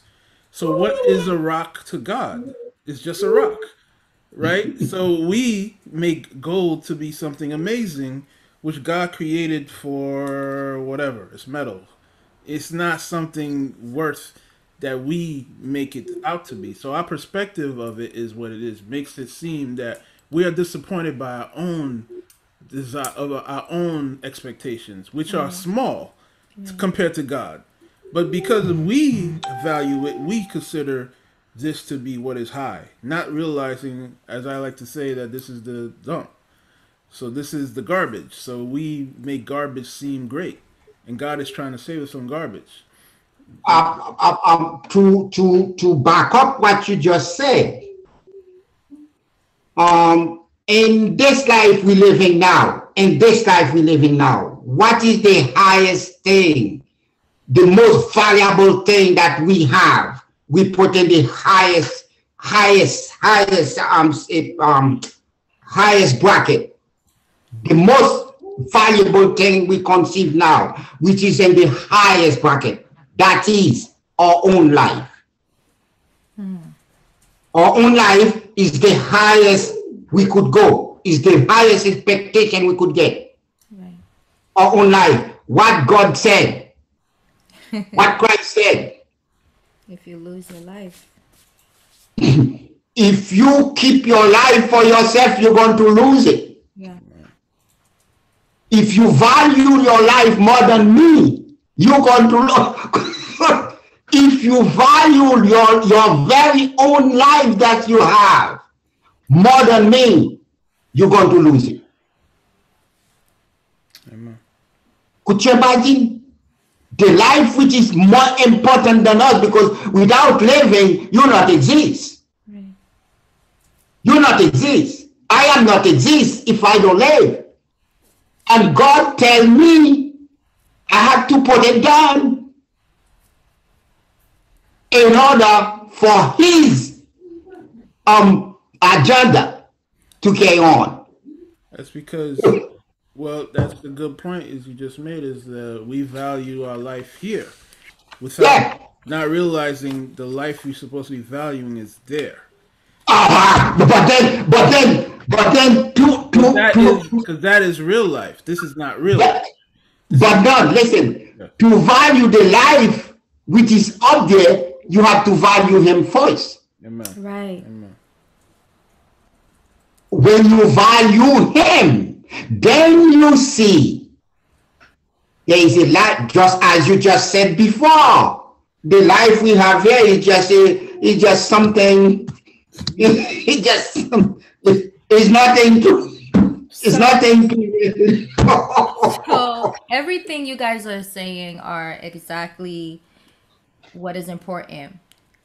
We're not saying that the life here is not important. And we're not saying that the life with God is is is the only focus, right? I think what happened is we we missed the order of how we should live. And if you seek the kingdom first, then all these things will be added on to you. The value of my life, meaning if I'm living, God is not going to tell me not to eat. God is not going to tell me not to bathe. God is not, that's not what He wants for me to live No. Actually, He wants me to live a good life. I, you That's know, it. very happy, clean, healthy, anything that could, could be. But he doesn't want me to focus on my life so much so first and forget about really what the kingdom, the preparation for the kingdom requires. Because again, the work was being done on the external, on the on the flesh part, and I forgot about the external, the the internal that will focus on the eternal life. That's why the expectation. That's why my sister come up, uh, Tina come up with expectation. All expectation, all expectation is so high for this life, Right. for this life, and whereby this life is only not even a shadow. It's not. It hasn't begun yet. I think It hasn't begun yet. I, I would say that the whole point of this life is to earn life because I like to I like to say that we haven't really started life. So the point of living is to gain life. So what matter what does this life matter? Your point here is to earn a right to live. Do you mm-hmm. deserve the right to live? And th- that is your choice. You are given all the opportunity to make your make your case that you get to live forever. Amen. Make How do we make our case? Oh wow! How do we make our case? So this this is what we're talking about. How do we make our case? How do I how do I allow God to say, "Oh, I know you. Come on in." Mm-hmm. Mm-hmm. Mm-hmm. How do I- here's here's what we're laying right now before you. Here's all the That's things right. that Christ Himself is telling you for me to know you, to down down your expectation about yourself, and to uplift the words that Christ has said, and to make that your focus. Because remember, you knowing God is not when you get to the kingdom. No, no. You knowing God or Him knowing you happens now. right now in this moment. It's in the journey. It's in the walk. Amen. Man. It's in the journey. It's in the walk. It's in how you're living. But then we are missing the mark because we're focusing on the things that are external, the things that prove to the world that we are walking the walk. And he can see the heart. He can see past what is true and what is not true. But um, um, before Christ, before Yeshua go, he left a a guideline for us. Yes. He, he- before he went, he left a guideline for us. And that guideline will bring us to him. And this is the guideline he gave us. Love you. Love one another. Amen. Love one another. That's just that simple. uh, what what kind of love we have because there is love on earth there is love on earth but i may say that there are two kind love on earth a true love and a fake love I think that a fake love leads you to selfishness and distraction. And that's where the deception coming in. That's why the expectation coming in also. The high expectation of this life. Both of them come um, in that fake love. I think the key to that word to I mean she's gonna close. I'm just gonna point out what you're saying and what Christ means when he says, "I do not, I know you not," is you do not love. Love is Of course, of course, of course. love is course. Love is Christ is love. God knows love, and love knows love. That's right. If you have love in your heart, God knows you. Amen. If you have love in your spirit, God knows you. Doesn't matter all the good you do. If you do it mm-hmm. without love, you do it for nothing. For nothing. If you do it very little, you do it with love. God knows you. You have nothing in you, but you have love. God knows you. And God gives you gra- to the same level of the feet the, the, the woman who had nothing but a penny. She did it, she gave all she had because of love. And her love was greater than that servant who was with Christ, who did not love that woman enough to even let him come close.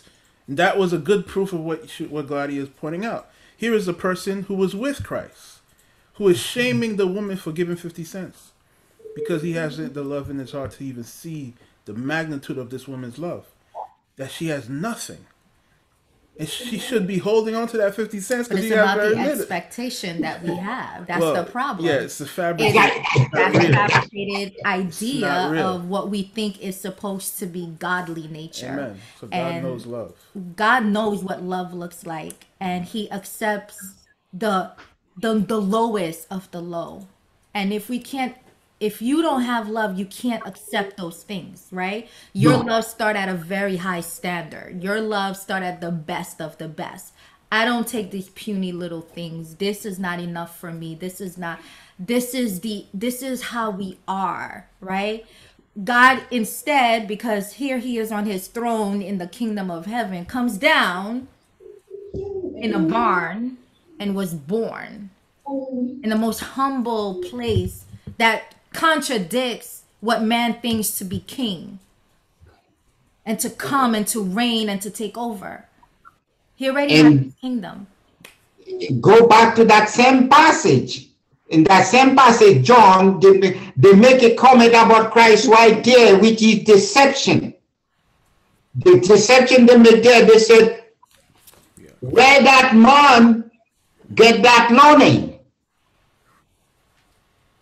Where, where, where he among us? How you get that kind of learning? He's saying things like this.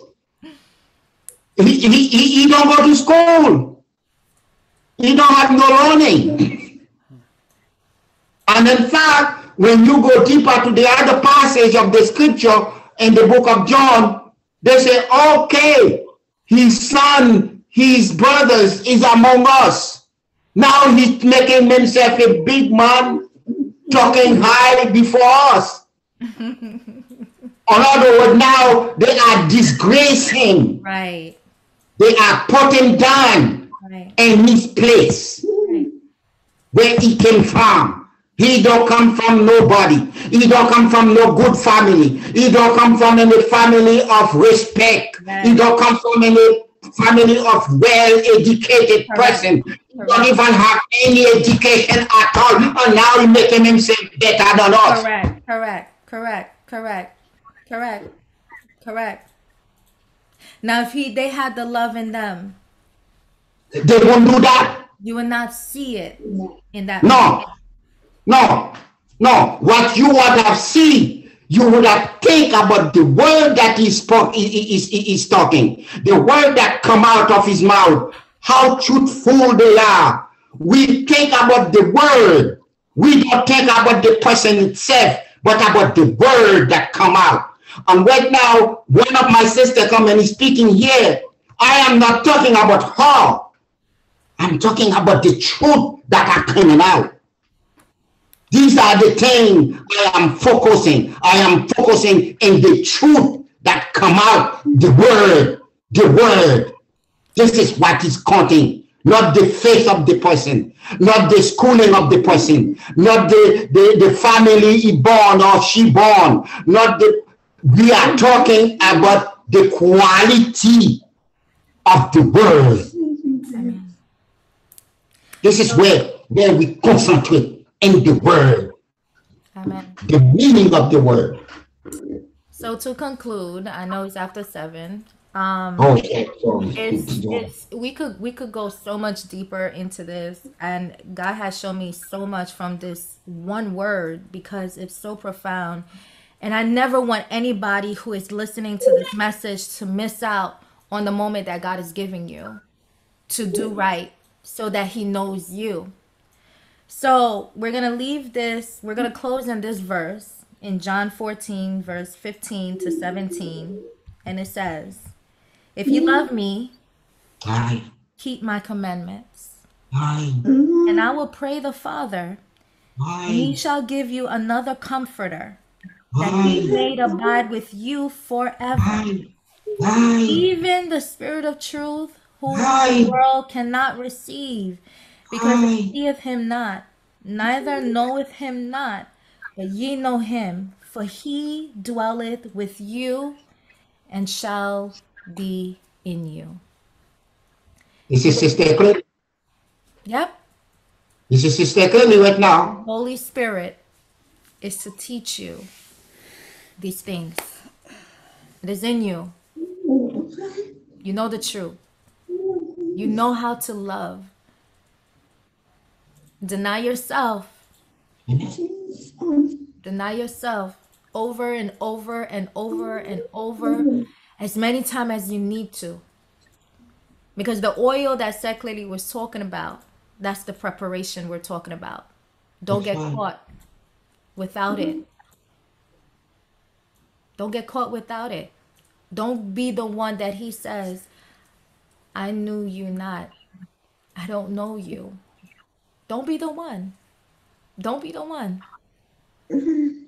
You know the truth. It's in you. The Holy Spirit is given unto you. Don't deceive yourself by being of yourself. Hmm. Be of God. Amen. Thank you. I don't know if Tina had something to say. You. No, ma'am. I think you said it right.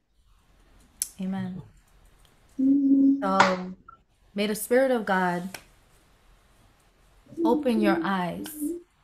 The last place you want to be is not there in the kingdom with Him. To think that you were doing everything on earth according to His will and you never was doing it to get into the kingdom. Don't be that one. He said it's a warning for all of us. Yes, sir. for all of us for us to find out where are you are you just fabricating lord father god we want to thank you for this word and this opportunity to bring an important message to not just everyone around us but to our own self lord father. for ourselves to re-evaluate where we stand before you and what you call us to do and how you call us to live. Help us to deny ourselves and accept your love and to humble ourselves and to and to grab onto the love that you are so that it just magnifies within us.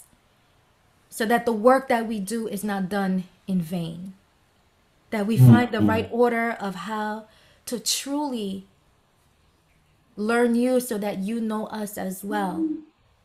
That when that day comes, we can enter the kingdom with great joy to hear those hmm. words, well done, is what we want. Thank you for even bringing this message and that warning Yes, so that yes, we sir. don't end up there. Yes, sir. Thank you for sir. having love enough to Yes. give give us this message to save us. And if we weren't Yes. preparing ourselves before, that we all can get things right and prepare ourselves now. Because if you're Yes. still if we're still alive, that means there is still an mm. opportunity. There is still time. God, we love Yes, you. We magnify your name. Yes. We pray not because we are worthy of anything, but we do pray in the precious, precious name of Jesus. Amen. Amen. Amen. Thank you, guys. Amen. God bless. Thank you. Father.